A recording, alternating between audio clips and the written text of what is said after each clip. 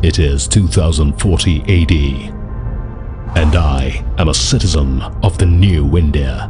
The world that I live in now is a direct consequence of an initiative that started three decades ago. It transformed the future and created a new paradigm of development for India. Where did it begin? What were the ideas behind it? How did it capture the imagination of millions? And how did these cities of the future come to be? This initiative is where it all began. The Delhi-Mumbai Industrial Corridor. It began in India in 2011. In a nation experiencing growth at unprecedented rates, a country towards which the eyes of the world were turning. The opportunity was immense, the potential endless, the challenge was clear. A new vibrant India needed to be created in the next three decades. An India that could sustain growth. Develop the manufacturing sector, reduce logistics cost, and promote environmentally sustainable urbanization. In the next few decades, more than 350 million Indians would move to India's urban centers.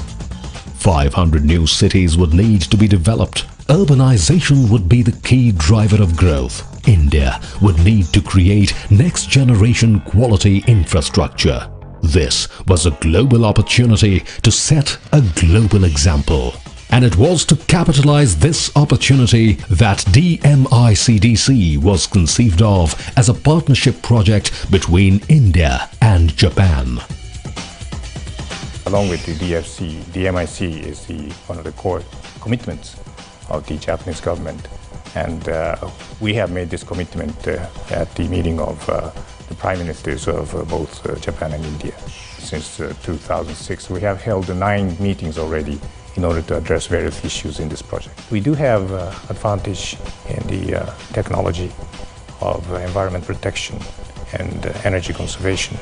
So these are the areas I think uh, Japanese uh, companies will be able to demonstrate uh, in promoting this idea of the smart city and also the entire DMIC project.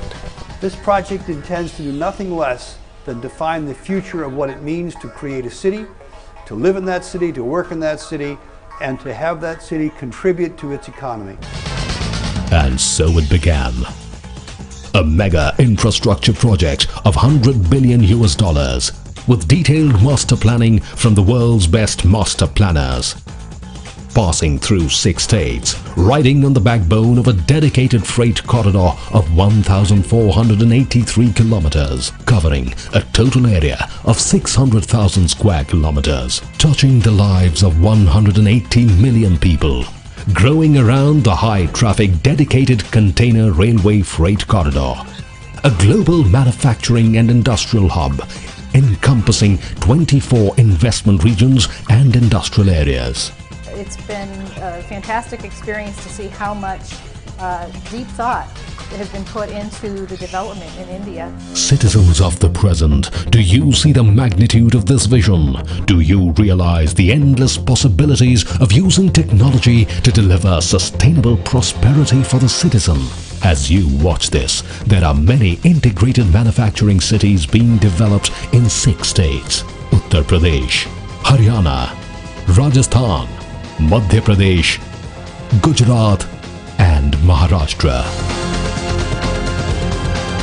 Your present is brimming with optimism. There are vast opportunities to be tapped.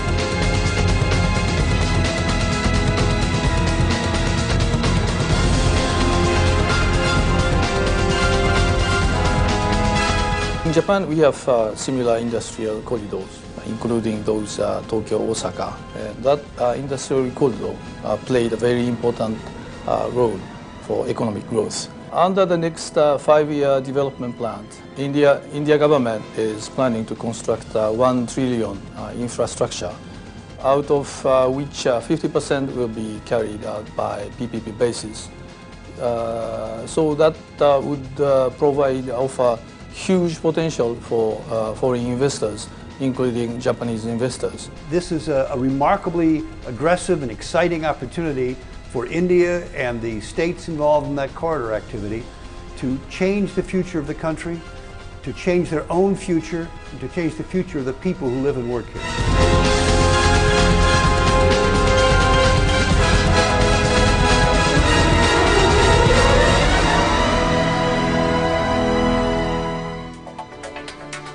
See this? This is the city I live in, where technologies are harnessed for transportation, water is recycled, smart grids renew energy and reuse waste, housing, green areas, walkability, everything is catered to.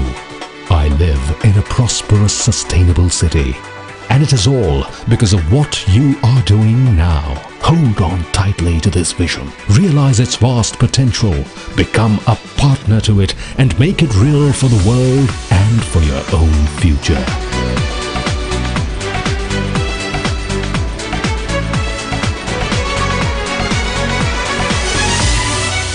We shall meet again in this future, in this new India. A future that owes much to a current initiative, the Delhi Mumbai Industrial Corridor.